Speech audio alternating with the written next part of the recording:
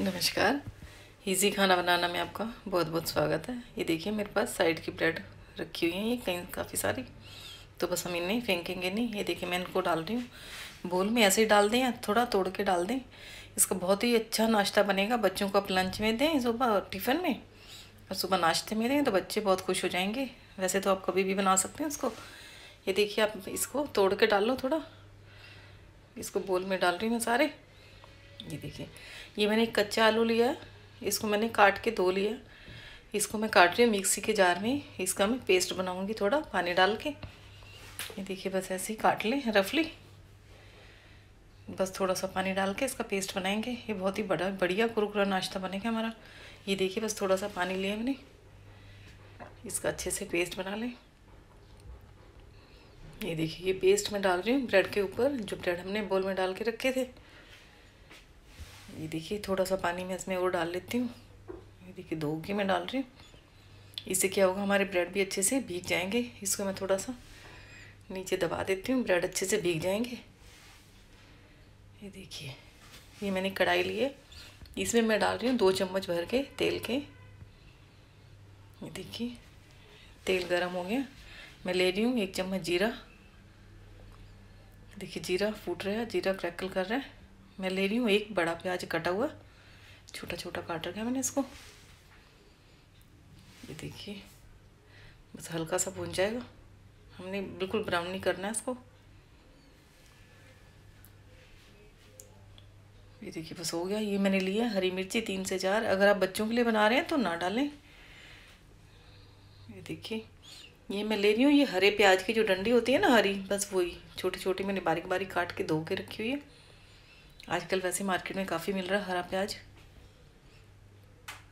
ये देखिए, मैं इसको बस मिक्स कर लिया मैंने। अच्छे से हल्का सा सौते हो गया। अब मैं वो ब्रेड ले रही हूँ जो हमने भिगो के रखे थे। ये नमक डाल लेती हूँ पहले मैं, नमक, मिर्च। एक चम्मच नमक लिया मैंने। एक चम्मच मिर्च। ये स्वादानुसार लेंगे आप नमक, मिर्च। ये आधा चम्मच में ले रही हूँ। हल्दी इससे कलर बहुत सुंदर आएगा। बस हल्का सा मिक्स कर लेते हैं इसको। ये देखिए मैं ले रही हूँ जो ब्रेड हमने भिगो के रखे थे ना, बस वही। ये सारे डाल लें। इसको अच्छे से हम भूनते हुए मैश भी करते जाएँगे और भूनते भी जाएँगे। ये देखिए, मैंने सारे डाल दिए। इसको अच्छे से मिक्स कर लें। ये बिल्कुल मैश हो जाएँगे, बिल्कुल जैसे रोटी का आटा होता है ना, बिल्कुल वैसा बन जाएगा। कि बहुत ही जल्दी बन के तैयार हो जाता है। अच्छा क्या होता है कि ब्रेड इकट्ठी हो जाती है ना, साइडों के तो उनको हम ऐसे फेंक देते हैं।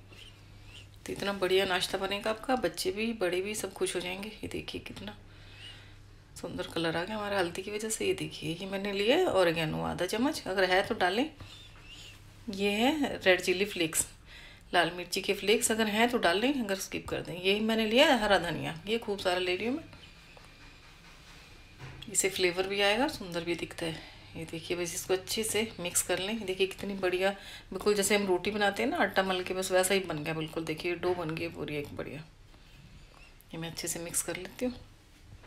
ये देखिए बस ये हो गया, मैंने कहा आँच बंद कर दी। इसको मैं डाल लेती हूँ थाली में। थाली को मैंने कोई ग्रीस वगैरह नहीं करा हुआ, बस ऐसे डाल रही हूँ। क्योंकि हमने इसमें छौंका जब मारा था ना, तड़का जब मारा था तो थोड़ा सा तेल डाला था ना, बस वही। इसको मैं बिल्कुल फ्लैट कर लेती हूँ, जैसे हम बर्फ़ी जमाते हैं ना, बस ऐसे ये देखिए, बिल्कुल फ्लैट कर दिया, मैंने इसको ठंडा कर लिया। अब मैं इसको पलट रही हूँ ट्रे में। ये देखिए कितना बिल्कुल आसानी से निकल जाएगा ये। बस थोड़ा सा टैप करते हैं। ये देखिए, पूरा निकल गया हमारा। अब इसको मन पसंद जैसे भी आपके पास कुकी कटर है या कोई गिलासी है, आप उससे कट कर लें इसके पीसेस तो बच्चों को ज़रा अच्छे लगते हैं ऐसे। ये देखिए, मेरे पास कुकी कटर है, मैं ऐसे काट रही हूँ। ये मैंने लिए सूजी इसको मैं सूजी से कोट करके फिर हम तलेंगे तो इसमें क्रंच बहुत बढ़िया आता है फिर। ये देखिए, मैं दूसरे कुकी कटर से काट रही हूँ। आप हाथ से भी इसकी शेप बना सकते हैं, कोई ऐसा नहीं कि आपको कटर से ही कट करना है। ये देखिए, बस मैं तीसरे वाला, मेरे पास मेरे कुकी कटर रखे थे तो मैं बस उसी से बच्चे थोड़े खुश हो जाते हैं। बच्चों को ज़रा अलग अलग शेप्स में बना के दो, नाश्ता तो अच्छा लगता है। ये देखिए तेल मैंने रखा हुआ है, तेल गरम हो गया, मैं डाल रही हूँ। ये देखिए, बस एक एक करके डालते जाए। ये देखिए, इनको गोल्डन फ्राई होने तक हम तल लेते हैं अच्छे से। ये देखिए, बच्चों को टिफ़िन में देंगे ना तो बच्चे खुश होकर टिफ़िन पूरा फिनिश करके आएँगे। ये देखिए, हमारे हो गए हैं अच्छे से। ये मैं अभी निकाल लूँगी, थोड़े और ब्राउन हो जाए हल्के से।